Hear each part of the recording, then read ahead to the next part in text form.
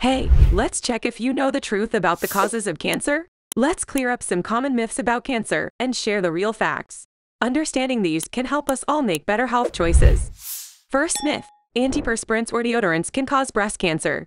Truth there's no solid evidence linking antiperspirants or deodorants to breast cancer.